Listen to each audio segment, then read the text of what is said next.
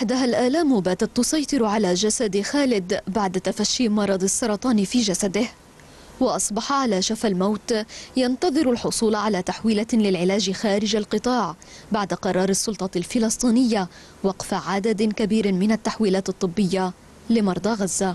بستنى على علاج اسمه إبر بالكيت وهذا الإبر يقولوا لي مش موجود في غزة. امرار بيجي ومرار بيجيش وبقعد سنتين أستنى.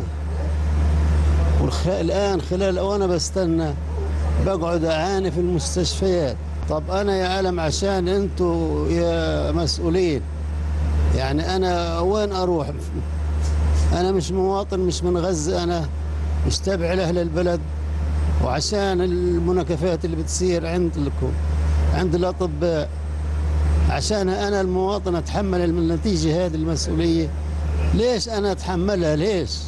إجراءات السلطات تجاه القطاع المترافقة مع الحصار الإسرائيلي خلقت أزمات مركبة للقطاع الصحي في غزة أودت بحياة 23 مريضا حتى اللحظة.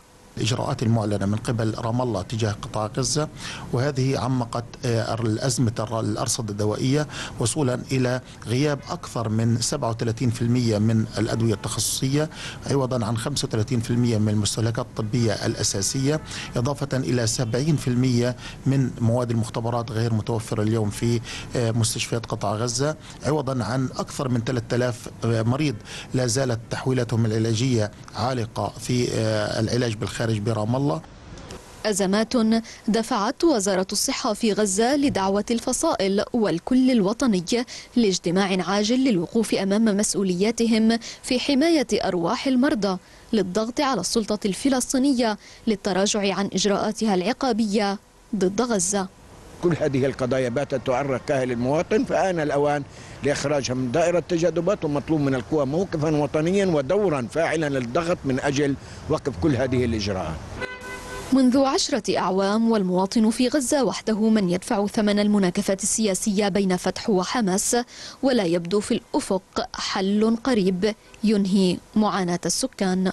بحجة الضغط على حركة حماس لتسليم القطاع لحكومة الوفاق تنتهك حقوق المواطنين في التنقل والعلاج ضمن سياسات جديدة تنفذ ضد غزة. نفين سليم الغد غزة فلسطين.